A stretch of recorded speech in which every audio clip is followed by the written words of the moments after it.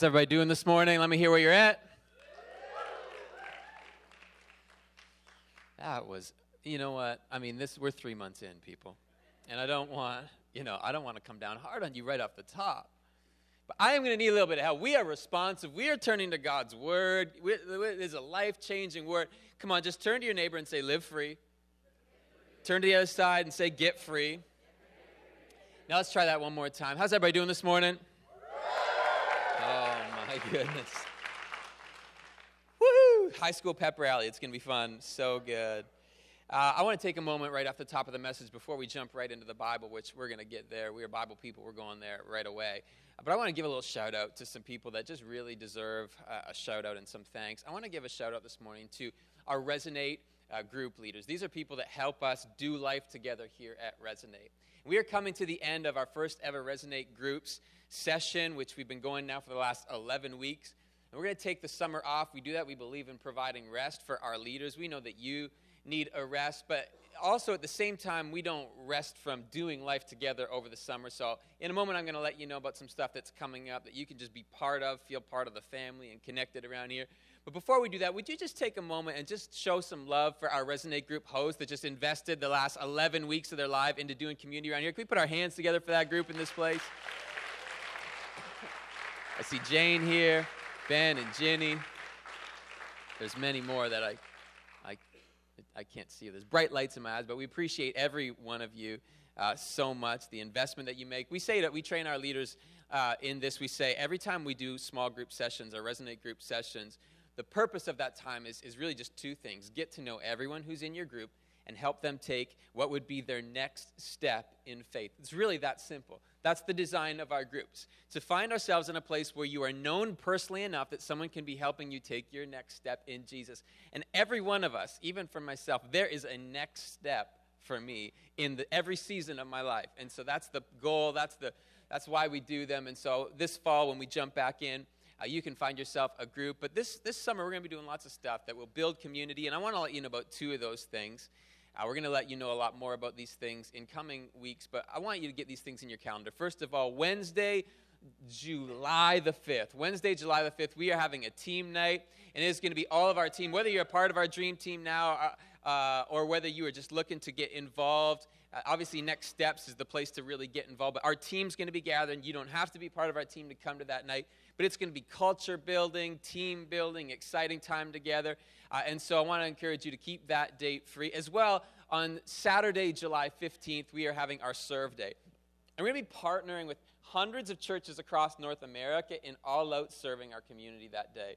We run Serve Day through our Resonate groups, which means that if you're a part of a group, your group leader will be already uh, finding and maybe even working with you to find a community need that you can meet on that day. But if you're not a part of our groups, again, you can be a part of that. And if you want information, just like where and when and how all that stuff's going on, just grab the Connect card in your seat this morning, fill out your email address. We will get you on our update list, and we will give you all that information. And that's a safe card to fill out. You don't have to worry. Like, I am not uh, going to be sending you. Um, I'm not going to be sending you the like the forwards I get on Facebook from like um, Rachel's grandpa. He's great on Facebook. I love him. He's wonderful. But some of those forwards, like they're, you know, it's just like it's just kind of funny stuff. But it's, you know, it's a lot. It comes kind of like every other day. And we love you, Grandpa. We're filming this, Grandpa. Come on, man. We love you, Grandpa, on Vancouver Island. Love you. Uh, the Facebook's a little much. Uh, that's not what I'm going to be doing uh, with the updates from church. These come at the most once a week, and they just keep you involved and in, invited. We just want you to feel invited. Come on, just give yourself a hug. Just feel invited. I went to a children's concert last night with my daughter. She, the, the woman was like, You need to hug yourself four times. Is the best I felt all week. Come on, just do it. oh, so good. Let's get to the Bible this morning. Galatians chapter 2, we're picking up right where we left off last week in verse number 15. And this is what the Bible says it says, We ourselves are Jews by birth. Now, Paul is writing, uh, is speaking of himself, and he's writing to a group of Gentiles. So, the, the context here is he's, he's kind of illustrating some of these Jew Gentile differences. And if you've been around through this series, you know why. But he says, We ourselves are Jews by birth and not Gentile sinners. Yet we know that a person is not justified by works of the law, but through faith in Jesus Christ. So we also have believed in Christ Jesus in order to be justified by faith in Christ and not by works of the law, because by works of the law, no one will be justified. We unpacked that word justified last week. Phenomenal, theologically deep word that will change the way you look at yourself and your relationship with God. And you can, as Rach said, jump on our podcast.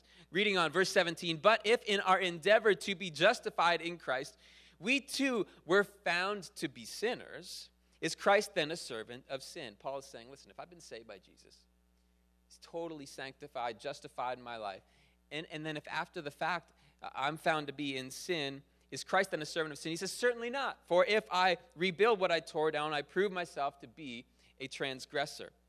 For through the law, this is a heavy statement we'll unpack. For through the law, I died to the law so that I might live to God.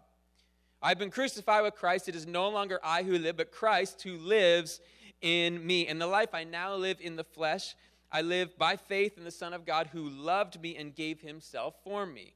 I do not nullify the grace of God, for if righteousness were through the law, then Christ died for no purpose. Can we pray together?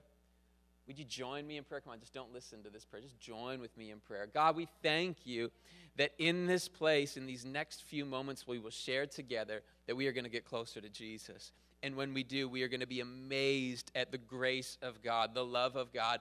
In fact, it's going to be so overwhelming to us that we won't even be able to leave the same way that we came in. Thank you that this is your good purpose. It's the reason you've sent the Holy Spirit to constantly be filling and transforming our lives. Thank you, Jesus, for what you will do in this place by your Spirit. And everybody said, Amen, amen. How many in the room this morning? Uh, you enjoy a good movie. Not a trick question. We're not about to like you know just judge you and say you shouldn't. No, just how many you enjoy a good movie. I used to I used to like movies. Uh, I was I was a movie fan, but I have found that we do not watch a lot of movies anymore. And I don't want to throw Rachel under the bus this early in a message, but you know, uh, one of the reasons I don't like movies anymore is that in 12 years of being married, I am convinced that never one time has Rachel stayed awake from the beginning until the end of a movie. We discovered this on our honeymoon. We were on our honeymoon, and when I say that I'm going to talk about our honeymoon, y'all freak out and you're like, don't make it awkward. I won't. So we were on our honeymoon, and we put on a movie. It was a rom com, and uh, we got to the end of the movie, and I turned to Rachel. I was like, oh, that was awesome, wasn't She was sleeping. And I was okay, well, when did you fall asleep? And got her to describe the last thing she remembered. And it was like five minutes into the movie. And I was like, what? I was so dialed in. And it was a rom com, right? So I felt a bit weird, but I was dialed. So then the next night, I was like, okay, well, you know, we're going to watch this movie again. And we watched the whole thing again, literally from the five minute in part where she said she fell asleep to the very end. I get to the end of the movie and I'm like, I felt it again. The second time I was like, that was good. I turned to Rachel. I'm like, baby, that was, she's sleeping again. I'm like, where did you fall asleep? And it was like 10 minutes in so we don't watch a lot of movies anymore.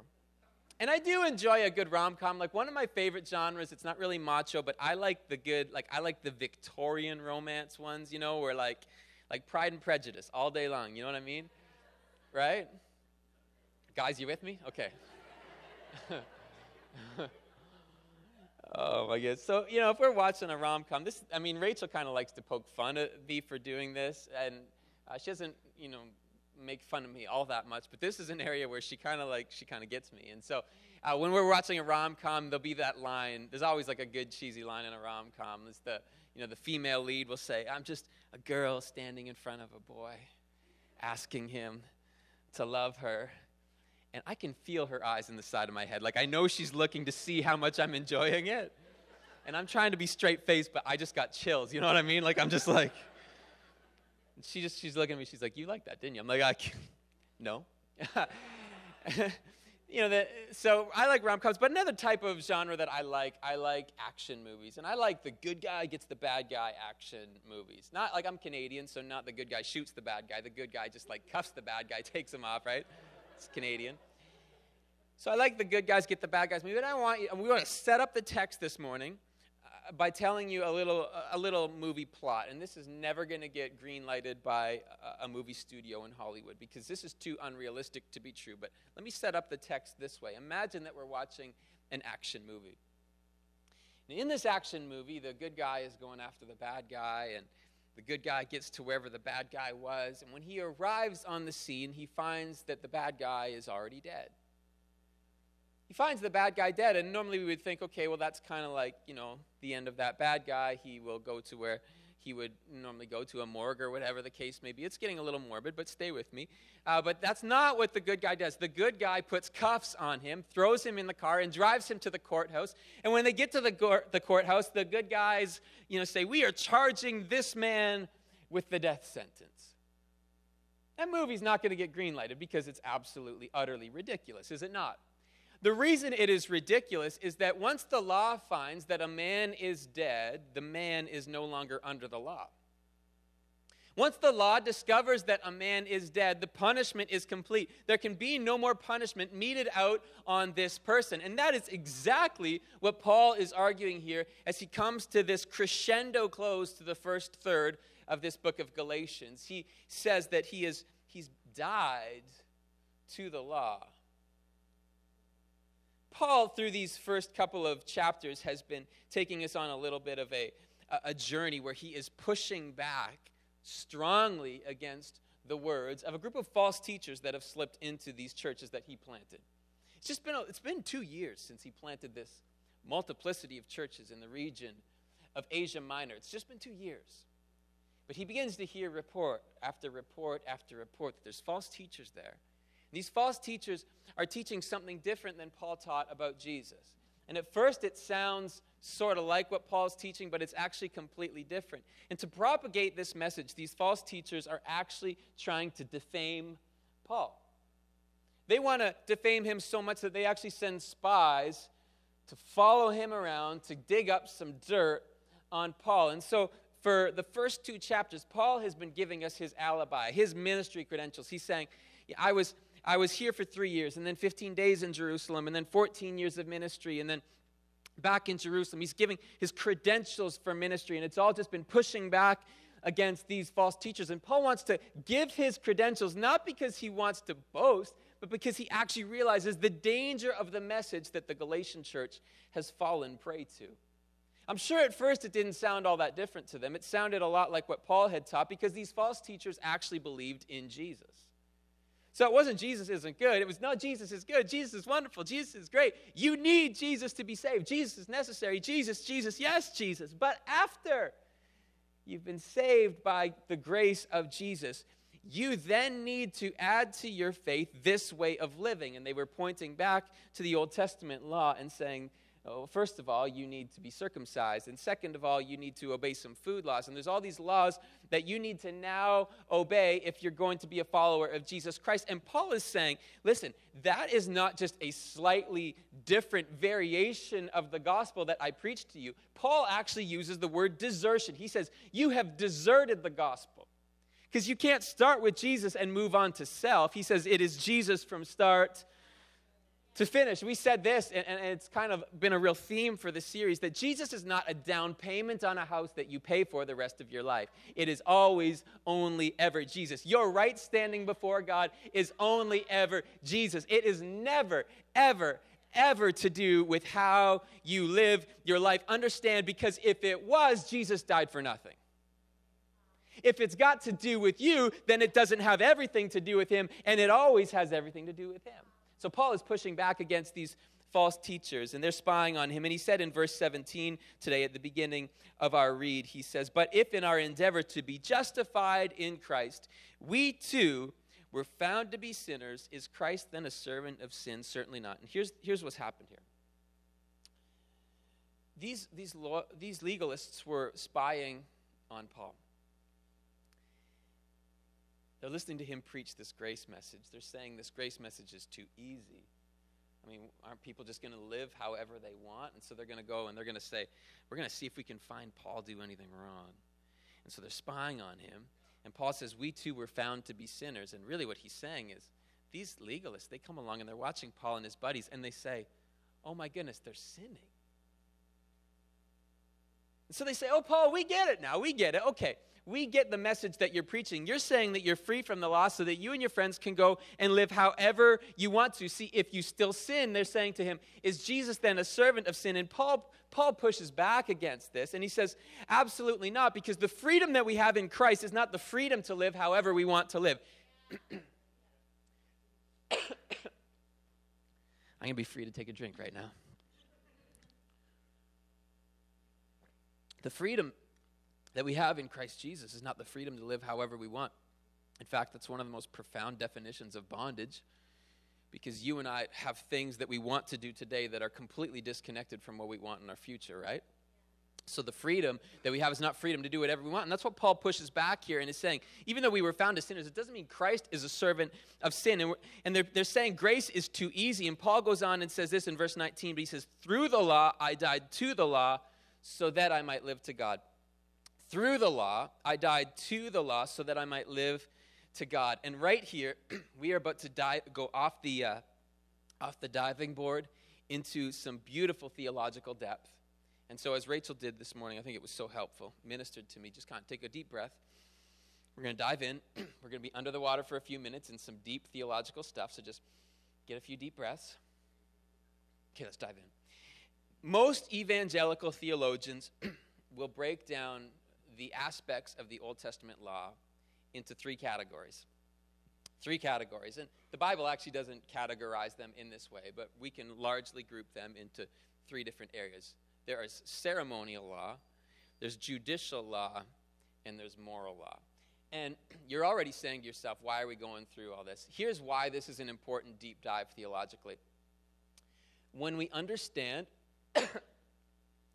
why God gave the law and what it means to us today, you will then know why you read the Old Testament and what it means for you today. So, this is important, right? This is going to actually help you have a love for your Bible, which is important to growing your faith. So there's three aspects of the Old Testament law ceremonial, judicial, and moral. Let's walk them through. Ceremonial law. What's a ceremonial law? Ceremonial law included all the sacrificial elements of the law. It's the like, if you sin, take a bull, go to the temple, kill the bull with the priest, do some stuff with the blood. It's the ceremonial law, and that's throughout the Old Testament. You find that. A ceremonial law has been completely fulfilled in the Lord Jesus Christ. He is once and for all sacrifice. There never, ever, ever needs to be another sacrifice because Jesus has paid it all on the cross. The wrath of God was meted out in his body on the cross once and for all. And so every time we read that kind of stuff in the Old Testament, what it ought to cause us to do is thank you, Jesus. Then I don't ever have to do that. I read it to understand how messy and grotesque and awful sin is because it absolutely destroys my life from the inside out. So I see that there, but I am so thankful that you did it all for me once and for all. So when you read the ceremonial law, the sacrificial stuff, that's what you get from it.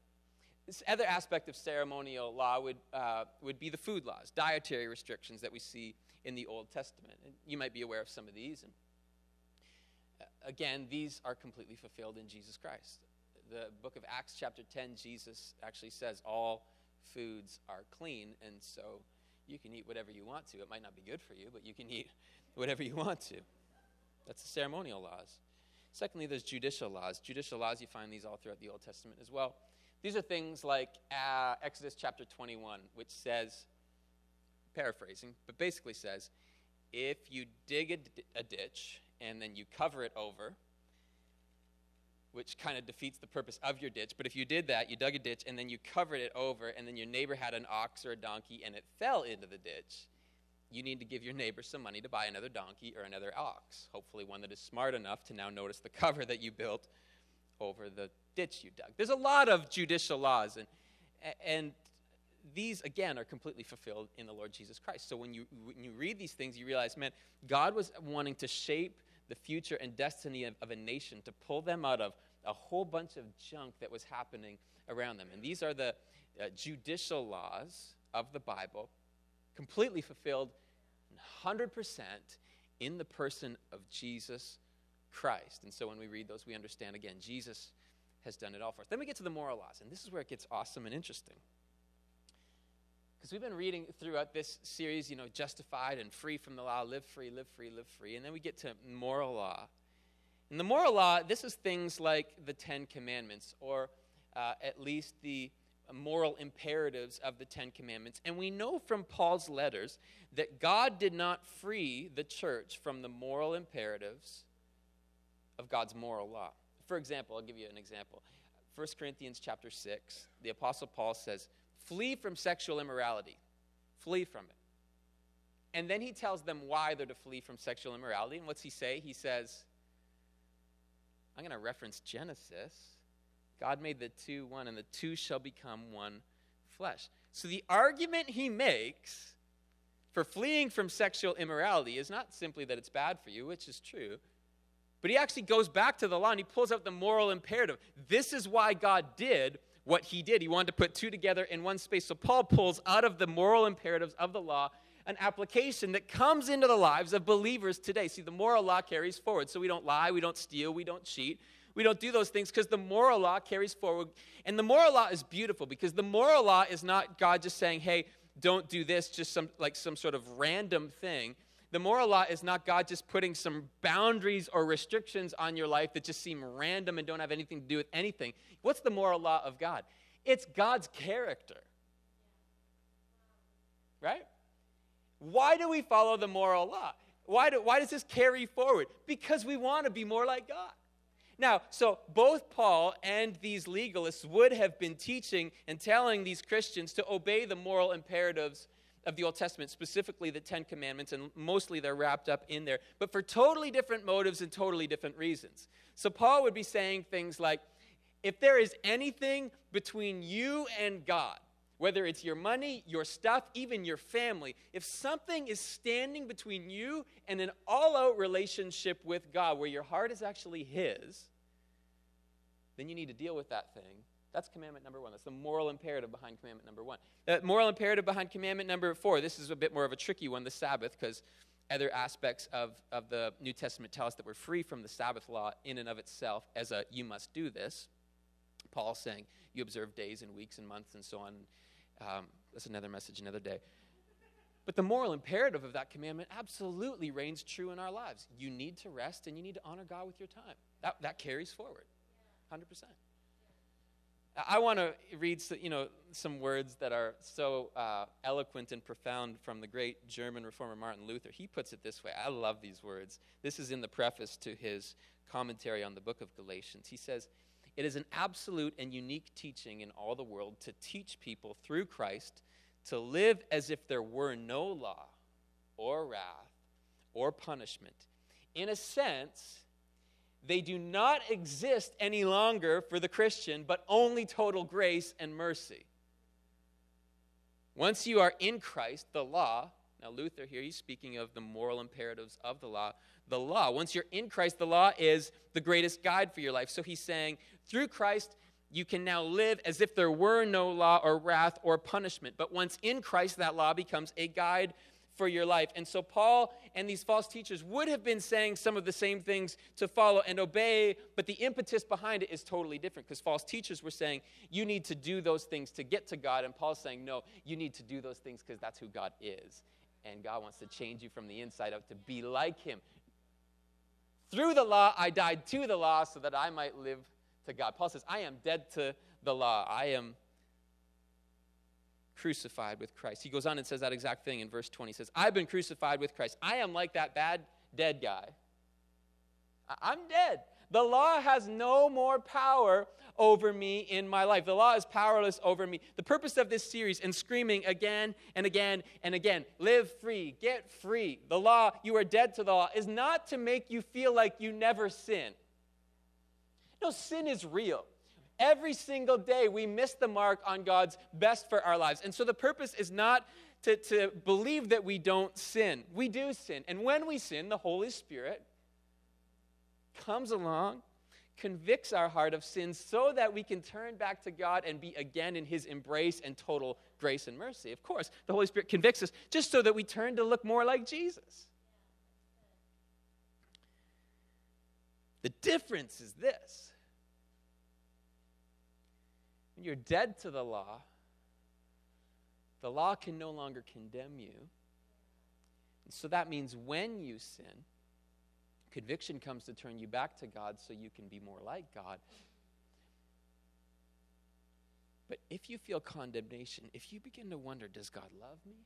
Is he with me? Is he for me? Does he still have a plan for my life? I've messed up too much. I've gone too far. I'm too far away from him.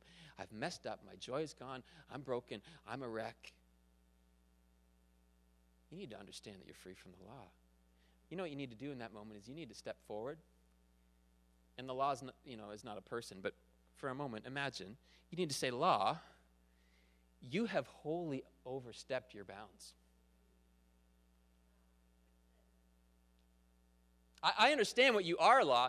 You are a guide for my life so that I can begin to live more like God. But what you are not and will never be is my Savior. That is Jesus Christ alone. And my righteousness is wholly in Him. If you begin to feel like God is not going to hear your prayer, if you begin to feel like you've gone too far, if you feel like there, that you're removed from grace, if you feel like you need to sit in your room and cry for days and days and days, you need to say, Law, you've gone too far. Because you've forgotten that you are dead to the law and the law can no longer harm you because in Christ Jesus you are perfect before God the Father. His righteousness imputed to you, your sin imputed to Him once and for all, past, present, and future. Through the law, I died to the law so that I might live to God. The moral imperatives are now lived in my life out of a grace gratitude motive and nothing else.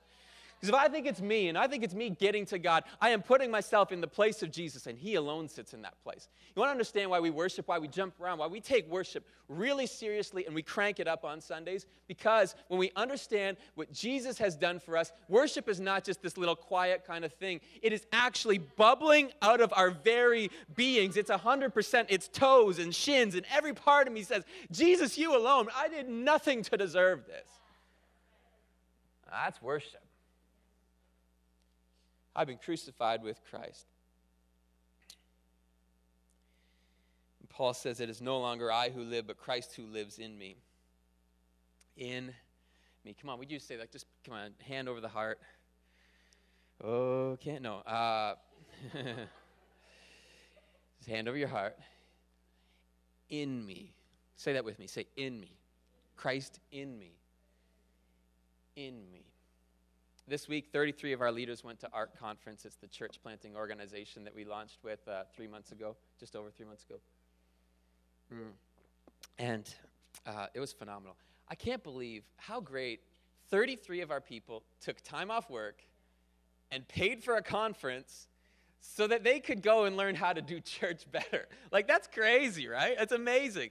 That people that just care so much about seeing God move in this city shifting the culture, not just having great church services, but actually shifting the culture of our city and of our nation and believing that we're called to be an influence and stepping up to another level in the way that we minister and serve and the culture that we set in this house. 33 of our people did that this week. Come on, it's amazing. It was absolutely phenomenal. What I want to do for a minute, on the last night, one of my closest friends, Pastor Jonathan Lambert, got up and just absolutely preached a phenomenal message, praise God. Such an anointed word. But he, he shared an illustration, and I want to just quickly share it with you because he shared an illustration about having recently given blood. And Jonathan and I are great friends, and we regularly plan our, and prepare our messages together. And so I actually knew kind of in advance he was going to go give blood because he said to me one week, he's like, hey, man, I'm going to go give blood because uh, I want to I want to give an illustration on giving blood. And I'm like, bro, your motives are so pure right now. Like, it's like, I'm going to love my wife because we're doing a relationship series. Like, dude, that is messed up. so he says, I'm going to go give blood. And he goes and gives blood and finishes giving blood and goes to the cookie and juice area. And uh, um, he meets a guy there who's given blood 746 times. He's doing the math. He's like, how's that even possible? This guy actually told, told him, on average, it's just like over uh, not quite once a week that he gives blood. I don't even know how that's possible. This guy, Norman, and Johnny says to him, he says, did you, are you trying to pay back for some crime that you committed? Do you have like some sort of guilt complex on your life? Um, do you know someone that needs this? And he just said to him, you know what? I just came to a realization at some point that I've got something in me that somebody else needs to be alive.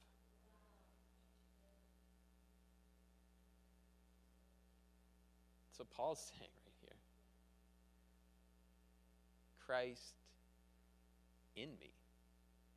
We don't come to a church every week to sit in chairs and have some moralist person stand up on a platform and say, Go and do better.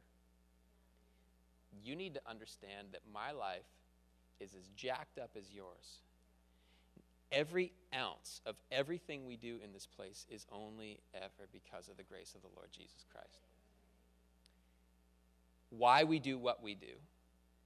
The 40 people that are on team this morning serving people in our church, we don't do it because we needed someone to check in your kids. We said to our teams this morning before we prayed, it's not the role you play, it's the spirit you do it with. It's Christ in you. All over the world today, kids are getting checked in.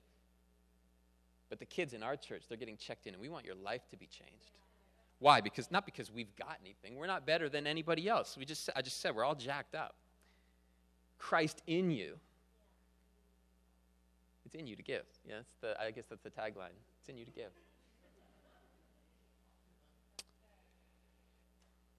I woke up early this morning to pray for you that you would have that realization. That you are not a mere church attender. You didn't take some of your time so that you could attend church. You are here because Christ is in you to give. You don't even have to leave this place without taking an opportunity to take of that deposit that is in your life and give it away. Come on, that's, that's, that's how ministry works. You don't, we're going to have some prayer time together at the end of church, but you don't need special prayer time. You just need to have your eyes open all the time for giving away, giving away. And uh, here's, here's an illustration. I, I, I love this. Our three year old, who's very funny, um, she gets it from her mom.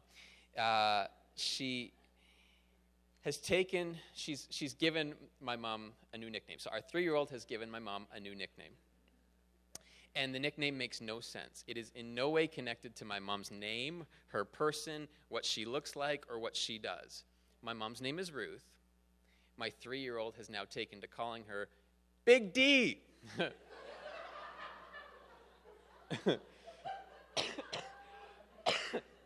so we went downtown this week to take my parents out for dinner.